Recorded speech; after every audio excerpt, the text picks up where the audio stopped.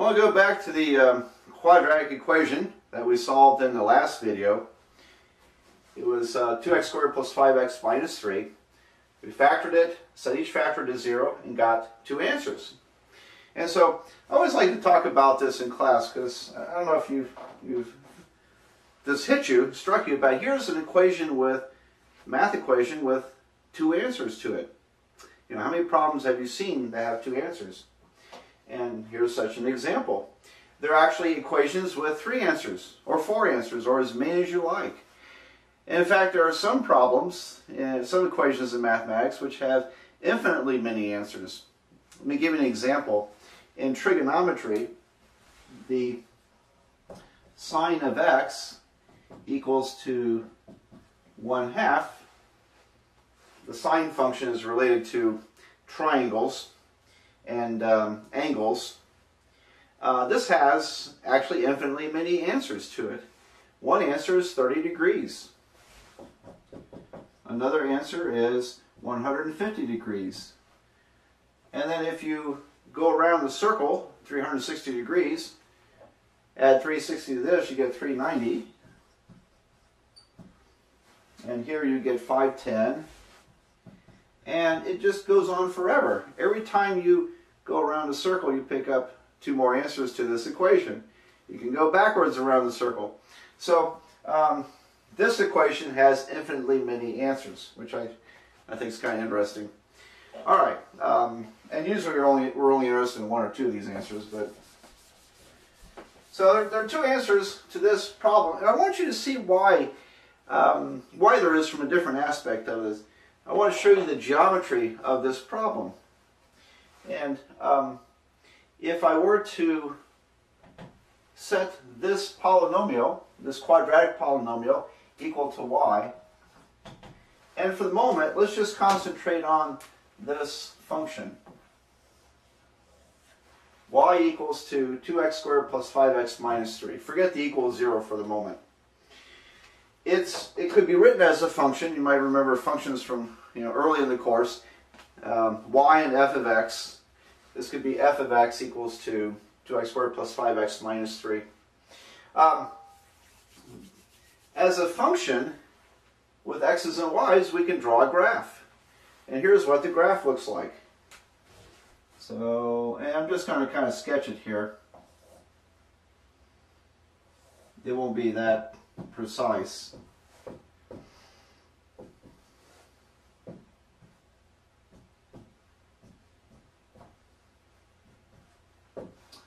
All right, so um, it turns out that this function, its graph, crosses the x-axis at negative 3 and at 1 half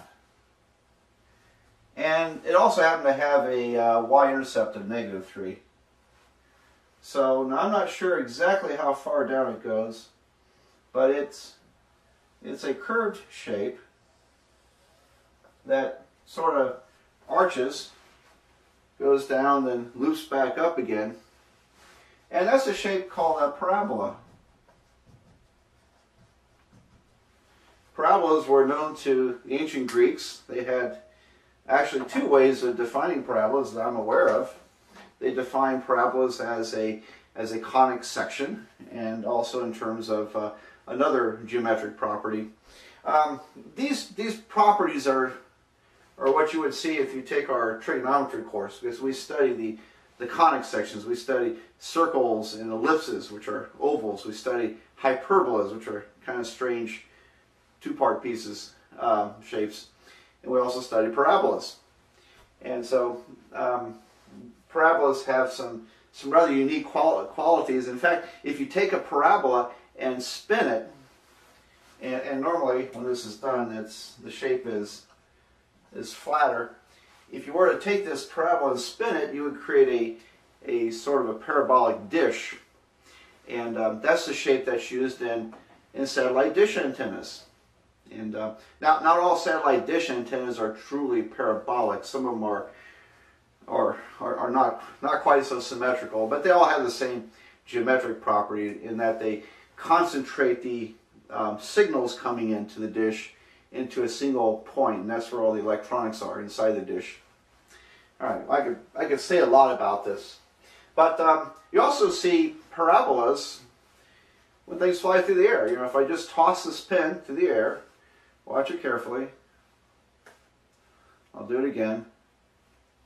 Whoops, one more time. All right, so that arc, that arc is a parabolic arc. It, it is a parabola. It forms a parabola shape with all the geometric properties that parabolas are supposed to enjoy as it flies through the air. And so um, they're really quite common. And, and, when you think about it, you know, this is one degree higher than a linear equation, you know, just a first degree equation. So it's the next step up in complexity. Now, um, to this point here, the, um, the parabola, because it dips down and comes back up again, in this case, it has to cross the y-axis in two places. I'm sorry, the x-axis in two places.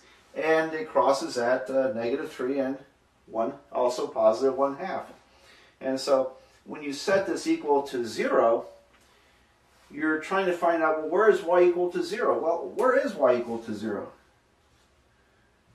It's right here along this x-axis. And so setting y equals to 0 means you're asking where does this coincide with the x-axis? Where does it cross x-axis? It has to cross in two places. So that's why we, we normally get two answers to these quadratic equations. And um, so now it's possible to get one answer to a quadratic equation if your quadratic equation just touches the axis once, then you get a single answer. You know, that's a pretty special case. And if you have a quadratic equation which, or a quadratic um, function which does not cross the x-axis, it turns out that we get complex numbered answers. And so that's why complex numbers were introduced to you in the, in the previous chapter, is so that we can solve um, equations where if you looked at it in the function form, the parabola would never cross the x-axis. It could also go upside down and miss the x-axis.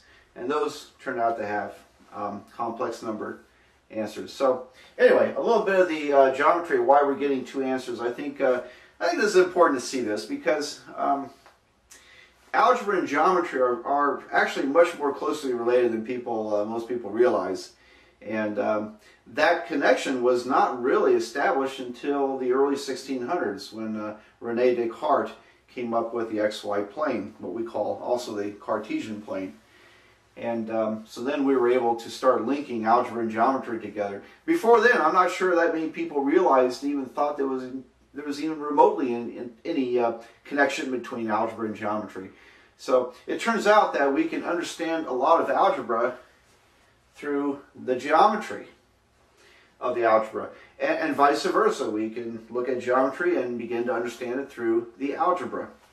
So uh, an important point to make, and one if you if you take more math, you'll begin to see more and more. In fact, if you take calculus, uh, calculus uh, goes quite heavy into uh, into these ideas of linking geometry with with the algebra.